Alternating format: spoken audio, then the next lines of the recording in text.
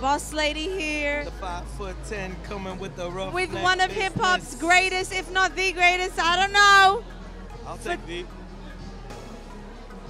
Interpreter of the culture behind the camera, it is Jonathan One Mannion. of them, man. Yo, God bless. Good morning. Good afternoon. Good evening. We are tributing you tonight, Jonathan Mannion, Thank you very for much. your incredible career. You are a monster. You are indeed a monster.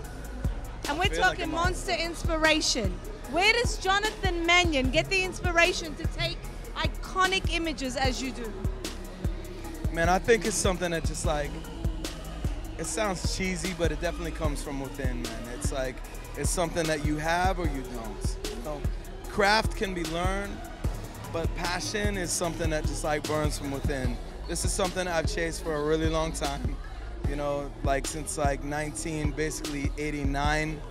Big Daddy Kane, Kool Moe Dee, Ice T, like you know that whole run made me want to be part of this movement. Mm. And in '93, when I had a chance to attach to it, I chased it full force, man, and like really kicked off the career in 1996 with Jay Z, Reasonable Doubt. Not a bad kickoff, man, to a career, man. I have to say. Did you hear that?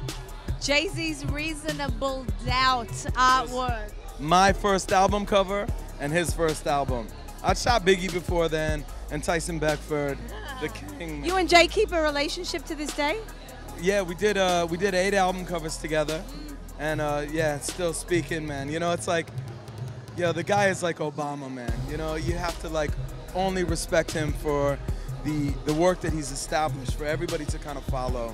You know, he's really he's led the charge, man. He's shown them like a great example of how it's to be done. So many have, you know, Dr. Dre, like good businessman, 50 Cent, and like everybody has. You know, they've led the way like solidly. Jay, there's a certain passion that is attached to what he's done for culture that I think has really like made people kind of believe mm. in the way, man. And certainly I'm one of those people. Well, speaking, I mean, you've worked with the legends in the game, and now you're working with new legends. Oh, yeah. Like you get to work with. Now, tell us the story behind this particular shoot.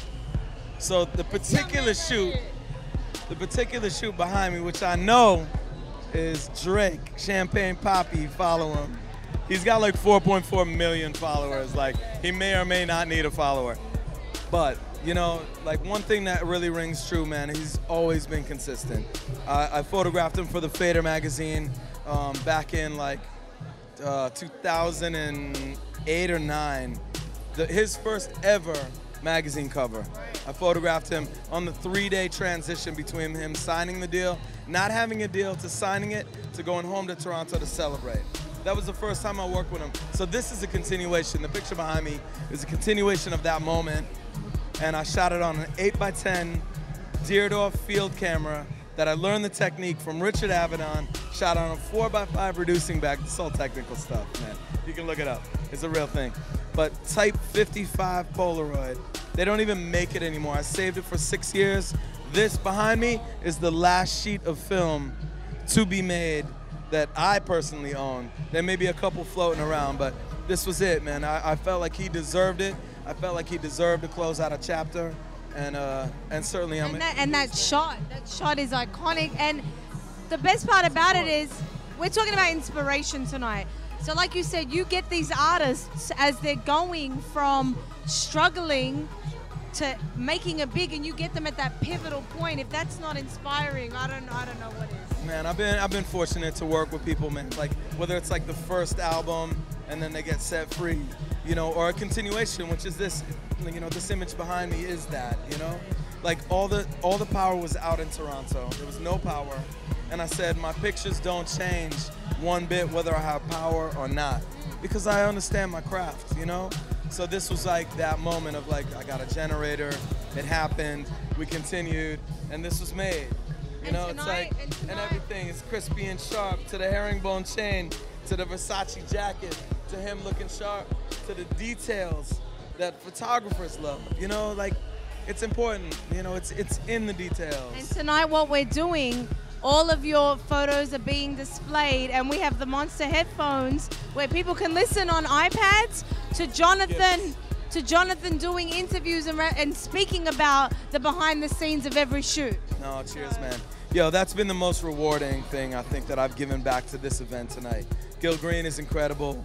You know, 305 I've done a lot of work in. I was here last year, I didn't make a contribution beyond the vibes.